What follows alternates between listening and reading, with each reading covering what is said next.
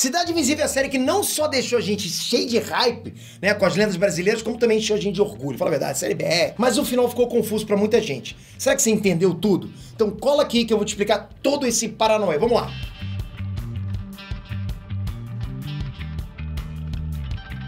NS Ranks, Peter aqui. A série Cidade Invisível pegou todo mundo de surpresa, com tanta qualidade, casca grossice, né? Com aquelas lendas que a gente conhece, com folclore BR. Pô, gostei pra caramba. E aí depois, né, de maratonar todos os episódios, uma galera ficou na dúvida o que, que de fato aconteceu naquele final, pô, todo misterioso. Mas como sempre, lógico, eu tô aqui pra explicar pra vocês esse final, porque tem sim coisa pra explicar, tem detalhes ali que eu acho que muita gente perdeu. E um detalhe que eu acho que muita gente perde, por exemplo, é o like. É um like, é uma parada que é impressionante, como ajuda pra caramba. Porque você agora tá pensando, pô, mas peraí, por quê?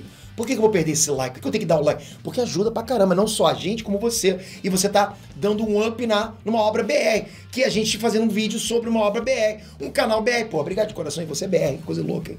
Bom, você já deve saber, mas não custa lembrar. Como eu vou falar do último episódio, é lógico que que esse vídeo aqui estar cheio de spoiler. Quem avisa amigo é. Então vamos lá. A dica para entender o final começa nas aberturas dos episódios, sabe? Aquelas que mostravam a origem de cada ser místico. Como a Camila virou Yara, como a Inês virou a Cuca, como Isaac virou o Saci e por aí vai. Abre um parênteses aqui, tá? Você tinha reparado que Isaac é um anagrama para Saci? É Saci ao contrário? Lide com essa informação. Mas voltando aqui.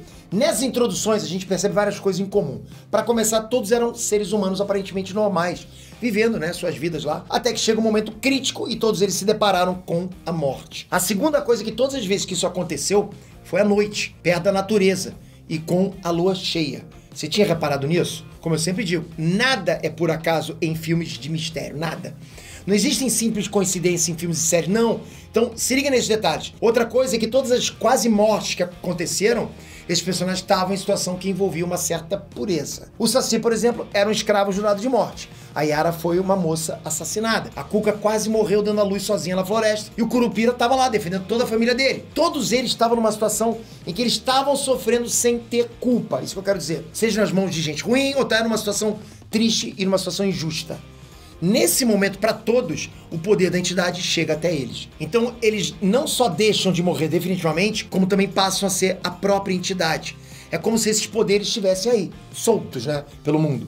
E de alguma forma resgatassem certas pessoas. Então, assim, os seres místicos que aparecem na série podem ser entendidos como humanos abençoados, ou mesmo, digamos, protegidos por essa entidade. Por isso mesmo que a Cuca não nasceu Cuca, ela se tornou. O Curupira não nasceu Curupira, ele se tornou. E assim por diante com todos eles. Um detalhe que a série não deixa claro é se isso acontece aleatoriamente ou não. E também não mostra nada disso com o Tutu. Mas esse é outro assunto. Se quiser saber mais, né, pede aqui embaixo. Continuando, não dá para saber se essas pessoas estavam predestinadas a esses poderes ou se foi só uma benção. Ou tipo, se eles já tinham esse potencial que despertou na hora da morte. Isso, apesar de não dar uma resposta clara pra gente, né, pelo menos são possibilidades pra gente entender o fim dessa temporada. Dito isso, vamos chegar no episódio final em que o Eric se fere na floresta e por um momento parece que ele morreu tanto morreu ou chegou perto disso que ele tem uma conversa com a esposa morta. Ela diz que ele tem muito ainda o que fazer e não pode ficar ali no além-vida, então ele retorna. Pode ter sido um delírio? Até pode, mas como a série é uma série fantástica, tá? A gente pode considerar que ele, no mínimo, bateu e voltou. O importante é lembrar que é nesse momento que as entidades se manifestam para transformar os humanos nos personagens lendários, exatamente naquele ponto. Era noite na floresta e ele morreu por uma causa nobre, ou seja, essa é a hora dele. O poder tá vindo aí. Qual será a entidade que ele vai ser? Boitatá, mula sem cabeça, caipora. O que, que você acha? Faça suas apostas aí. Voltando ao fim do episódio, tá? As outras entidades vão cuidar do Eric. Parece que é ali pela floresta mesmo e não no muquifo da Cuca. Agora pensa no nome da série. Cidade Invisível. Será que isso não faz referência ao local original de onde essas entidades moravam? Se você lembrar, todos eles se conheciam e existe um sentimento de grupo entre eles, que foi desfeito quando eles abandonaram a floresta. Será que a tal cidade invisível faz referência a esse ponto de origem? E que é para lá que eles estão levando o Eric? Lancei a braba e saí correndo. Fui, né? E nesse final também deu para ver que o espírito do corpo seco saiu do Eric. Mas não ficou definido para muita gente se o coisa ruim morreu ou se só meteu o pé dali. O mais provável, galera, é que, tipo, não morreu coisíssima nenhuma. Para começo de conversa, isso é uma saída conveniente para deixar o vilão voltar numa próxima temporada.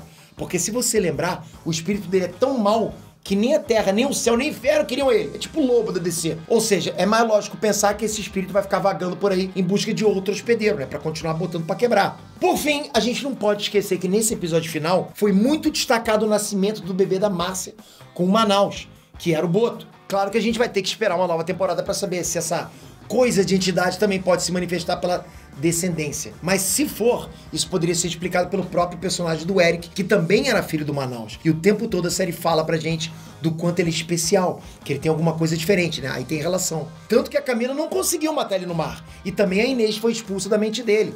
E isso é mais do que simplesmente ter o corpo fechado pelo ritual quando ele era criança, tá? Tudo isso leva a crer que existe uma possibilidade dos poderes místicos também serem passados de geração em geração. Isso me leva a crer isso, né? E essa seria aí, né, uma segunda forma de surgimento desses seres do nosso mundo.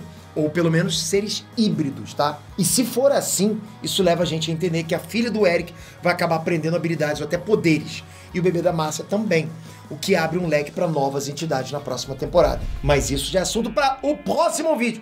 E vocês, jovens curumins, vocês já piraram com as lendas de Cidade Invisível? Vocês querem mais vídeos sobre os personagens, teorias, coisas mais sobre Cidade Invisível? Então vocês já sabem o que vocês vão fazer. Comenta aqui embaixo. Comentem. Eu vou ficar de olho. O que vocês perguntarem, eu vou transformar em vídeo. Se vocês quiserem, logicamente. Eu vou ficar de olho no feedback geral desse vídeo. Então tem que ter comentário pra caramba e likes. Obrigado de coração, tamo junto sempre. Se inscreve no canal, é bom demais saber que você, a audiência do Inet, também curte, curte obra BR, cara. Isso é bom demais. Né? Você não fica só em anime, Marvel, DC, não. Você curte obra BR, folclore BR. Cara, isso é muito maneiro pra gente que tá aqui e pro BR como todo. Tamo junto. Valeu, galera. Fui!